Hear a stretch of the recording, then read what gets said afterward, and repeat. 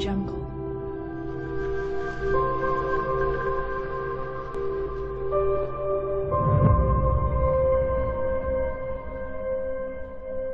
Audio Jungle. 原标题：鸦片战争之败，关键还在于具体的战争技术和战略境界，比别人差太远。鸦片战争之败，不在于清军的将领和士兵不勇敢或者不爱国，也不是武器差太远，关键还在于具体的战争技术和战略境界比别人差太远。清政府不知道炮台之间的火力配合，也不知道炮台还要修筑顶盖，而且增兵也不是这么个增法。往炮台上多增兵就是增大伤亡。后来沿海的历次战役几乎全是如此。唯一给英军造成较大损失的就是镇江，在这里，八旗兵最后一次捍卫了他们祖先的荣誉。以前八旗兵很厉害，但康熙以后一直表现不好。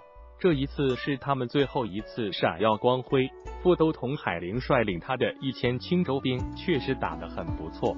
当然，英军也太大意了。因为之前沿途的战役赢得都太顺利了，所以在攻打镇江时，他们没有按照之前的作战模式，先依靠密集的炮火把中国军队的防御体系砸烂，然后再派遣步兵登陆。这一次英国士兵没有准备炮火，就直接上岸了，然后就跟八旗兵肉搏，所以这一次英军伤亡了一百余人。马克思曾说，如果英军一路都是这么损失的话。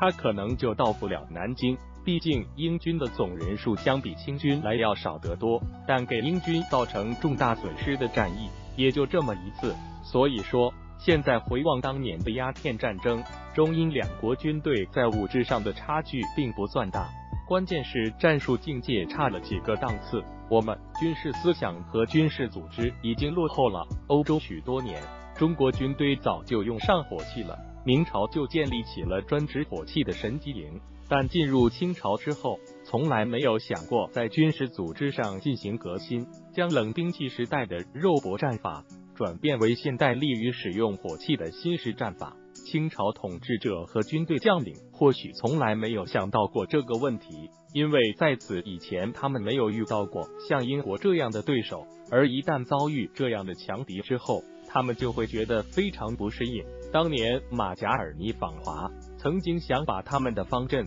给清朝将领演示一次的，但居然被拒绝了。没想到几十年后，过于自大傲慢的满人将领就领受了教训。鸦片战争期间，众多能战之士从全国各地征调到沿海，却是打一仗败一仗。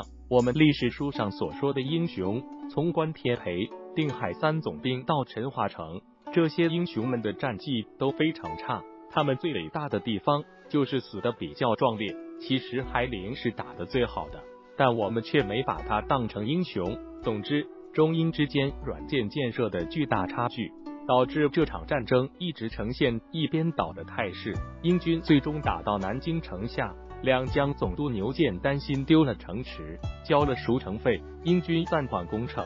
到这个时候。道光皇帝才恍然大悟，原来此前前线将领一次次的战报都是谎报军情，根本没有什么胜仗，敌人似乎是不可战胜的。无奈，只有答应由脚改谱，中国被迫与其签订城下之盟。战事之所拖了两年，一方面是因为道光皇帝不知道此番来的英国人，并不像此前的侵略者一样要占你的城池。该换你的朝廷，他们只是要中国开放，把中国拖入他们的世界体系。所以前线的将领可以通过付费，不让英国人攻城，一个省城都没有沦陷。前线将领反而可以不断的谎报军情，说他们打赢了，杀敌无算，使得皇帝不觉得事态很严重，事情还有可为。另一方面，是因为英国人对白河一带的情形不大了解，没有像后来那样直逼金京。立竿见影的让清朝皇帝屈服。摘自张明重说中国近代史。